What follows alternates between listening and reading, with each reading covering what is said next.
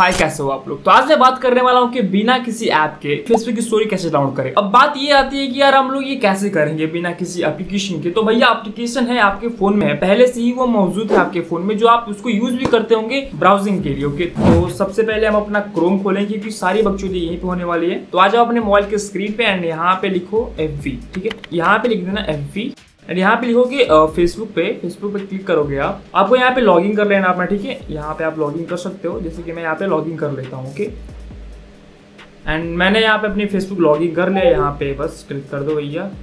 And यहाँ पे आप देख सकते हो कि ये मेरा फेसबुक खुल गया ओके एंड मैं चाहूँगा कि यहाँ पे स्टोरी वाले ऑप्शन पे जाओगे आप तो देखोगे आप यहाँ पे स्टोरी देखोगे ठीक है? जैसे कि ये जो स्टोरी है uh, मुझे ये स्टोरी मुझे मुझे मुझे ये स्टोरी डाउनलोड करनी है, ठीक है? तो मैं इसको क्लिक करूँगा एंड सिंपली आपको क्या करना है कि आपको टच करके होल्ड रखना है, ठीक है? यहाँ पे जैसे टच करके होल्ड रखोगे तो यहाँ पे ऑप्शन आ जाता है अपना डाउनलोड वीडियो यहाँ पे आप लोग क्लिक करोगे तो ये डाउनलोड हो जाएगा वीडियो यहाँ पे आपको दिख रहा होगा। अब इसको मैं गैलरी में दिखाता हूँ आपको। यहाँ पे गैलरी खोला मैंने और ये वीडियो यहाँ पे आ गई।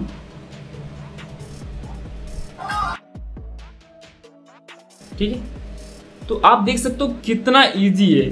मतलब भाई साहब, इतना ईजी है कि कोई एप्लीकेशन की नीड ही नहीं है इसमें। अगर आप क्रिएटर बनना चाहते हो तो ये पैक बाई कर सकते हो। यहाँ पे आपको सारी चीज़ें मिलेंगी जो एक क्रिएटर के पास होनी चाहिए। एंड अगर आप अपने फेसबुक की स्टोरी के व्यूज़ बढ़ाना चाहते हो तो ये वीडियो देख लो